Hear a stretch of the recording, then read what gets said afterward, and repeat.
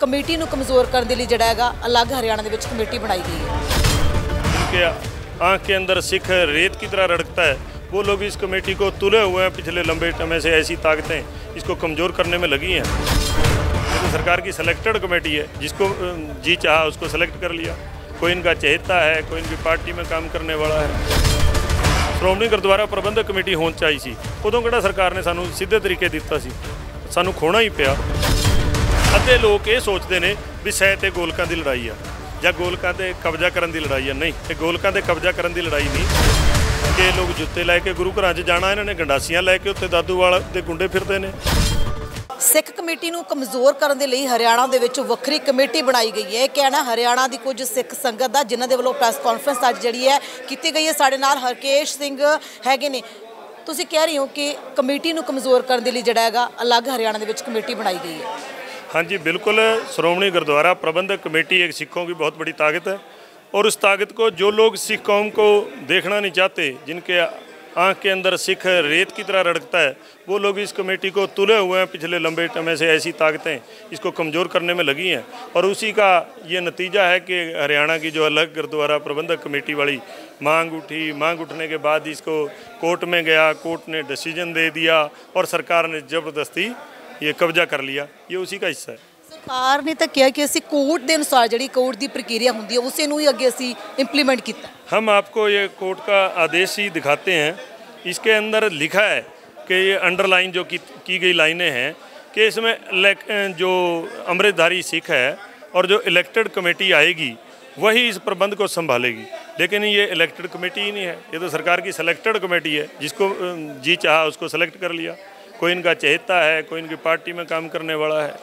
तो वो लोग अ, ਕਮੇਟੀ ਜਿਹੜੀ ਬਣਾਈ ਗਈ ਹੈ ਉਹ ਕਹਿੰਦੇ ਵੀ ਹੁਣ ਇਲੈਕਸ਼ਨ ਵੀ ਅਸੀਂ ਅੱਗੇ ਕਰਵਾਵਾਂਗੇ इलेक्शन करवा लेते प्रबंध दे देते ये इलेक्शन में इन्हीं लोगों को जिता लें इन्हीं को प्रबंध दे दें हमें कोई इतराज नहीं होगा ਤੁਸੀਂ ਪ੍ਰੈਸ ਨੋਟ ਦੇ ਵਿੱਚ ਆਰਐਸਐਸ ਦਾ ਜ਼ਿਕਰ ਕੀਤਾ ਹੈ ਆਰਐਸਐਸ ਕਿਵੇਂ ਇਨਵੋਲਵ ਹੈ आरएसएस आज पूरे हिंदुस्तान में आपको तो ये बताने की मेरे को ज़रूरत नहीं इन्वॉल्व भी है हर जगह सरकार में और बीजेपी तो सरेआम बोलती है कि हम चलते ही आरएसएस के अं- अंडर काम करते हैं इनके एमएलए एमपी बोलते हैं कि हम आरएसएस के अंडर ही काम करते हैं किसी को पू- अ, कई बार कई हमारे लोग हैं हमारे नज़दीकी लोग रिश्तेदार बीजेपी के साथ काम करते हैं तो उनको पूछते हैं एमएलए ने आपका ये काम नहीं किया कहते हैं जी आरएसएस नहीं मान रही ये सरेआम है इसमें कोई लुकी छिपी ਗੁਰਦੁਆਰੇ ਤੇ ਜਿਹੜਾ ਹੁਣ ਕਬਜ਼ਾ ਹੋ ਗਿਆ ਜਾਂ ਤੁਸੀਂ ਅ, ਅੱਗੇ ਕੋਈ ਐਕਸ਼ਨ ਲਓਗੇ ਜੇ ਜਿਨ੍ਹਾਂ ਤੇ ਨਹੀਂ ਹੋਇਆ ਵਾ ਉਹਨਾਂ ਤੇ ਤੁਸੀਂ ਰੋਕਣ ਦੀ ਕੋਸ਼ਿਸ਼ ਕਰੋ ਅਸੀਂ ਰੋਕਣ ਦੀ ਕੋਸ਼ਿਸ਼ ਤੇ ਨਹੀਂ ਕਰਾਂਗੇ ਗਲਤ ਤਰੀਕੇ ਨਾਲ। ਲੜਨਾ ਸਾਡਾ ਕੰਮ ਨਹੀਂ।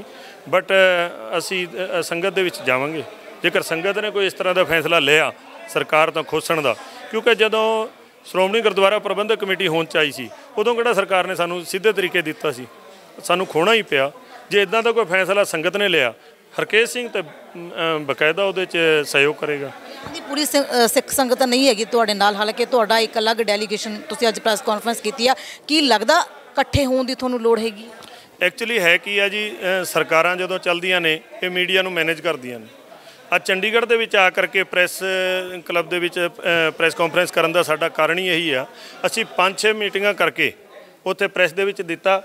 ਬੜੇ ਕੈਮਰਿਆਂ ਵਾਲੇ ਆ ਜਾਂਦੇ ਸੀ ਉੱਥੇ ਬਹੁਤ ਜ਼ਿਆਦਾ ਉੱਥੇ ਪੱਤਰਕਾਰ ਆ ਜਾਂਦੇ ਸੀ ਬਟ ਸਾਡੀ ਖਬਰ ਨਹੀਂ ਸੀ ਲੱਗਦੀ। ਅਸੀਂ ਸੋਚਿਆ ਵੀ ਸ਼ਾਇਦ ਚੰਡੀਗੜ੍ਹ 'ਚ ਲੱਗਦੇ ਨਾ ਹੋਈ ਤੇ ਅਸੀਂ ਨੈਸ਼ਨਲ ਲੈਵਲ ਤੇ ਜਾਵਾਂਗੇ ਦਿੱਲੀ। ਜੇ ਉੱਥੇ ਵੀ ਨਾ ਕਿਤੇ ਮੀਡੀਆ ਮੈਨੇਜ ਕਰ ਲਿਆ ਅਸੀਂ ਇੰਟਰਨੈਸ਼ਨਲ ਲੈਵਲ ਤੇ ਜਾਵਾਂਗੇ ਸਿੱਖ ਸੰਗਤ ਤੇ ਪੂਰੀ ਦੁਨੀਆ ਦੇ ਵਿੱਚ ਆ। ਆਵਾਜ਼ ਤੇ ਉਠਾਉਣਾ ਸਾਡਾ ਕੰਮ ਹੈ ਕੀ ਤੁਹਾਡਾ ਅੱਗੇ ਸਾਡਾ ਸਭ ਤੋਂ ਪਹਿਲਾ ਕੰਮ ਹੈ ਸੰਗਤ ਨੂੰ ਅਵੇਅਰ ਕਰਨਾ ਕਿ ਇਹ ਹੋ ਕੀ ਰਿਹਾ। ਅੱਧੇ ਲੋਕ ਇਹ ਸੋਚਦੇ ਨੇ ਵੀ ਸਹਿ ਤੇ ਗੋਲਕਾਂ ਦੀ ਲੜਾਈ ਆ।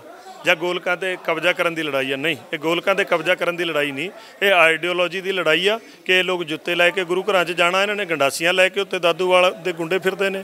ਇਦਾਂ ਦਾ ਮਾਹੌਲ ਅਸੀਂ ਨਹੀਂ ਗੁਰੂ ਘਰਾਂ 'ਚ ਚਾਹੁੰਦੇ। ਕਿਵੇਂ ਤੁਸੀਂ ਕਹਿ ਰਹੇ ਵੀ ਦਾਦੂਵਾਲ ਦੇ ਗੁੰਡੇ ਹੈਗੇ ਆ? ਦਾਦੂਵਾਲ ਦੇ ਉੱਤੇ ਸਾਡੇ ਅੰਬਾਲੇ ਦੇ ਆ ਤੁਸੀਂ ਜਾ ਕੇ ਮਿਲੋ ਨੂੰ ਉਹਦੀ ਉਹ ਲੈ ਲਓ ਉੱਥੇ ਜਾ ਕਰਕੇ ਆਪ ਜੀ ਪੁੱਛ ਲਓ। ਕੋਹਲੀ ਸਾਹਿਬ ਨੇ ਉਹਨਾਂ ਦੇ ਕੁਹਾੜੀ ਲੱਗੀ ਹੈ ਪਿਛਲੇ ਪਾਸੇ।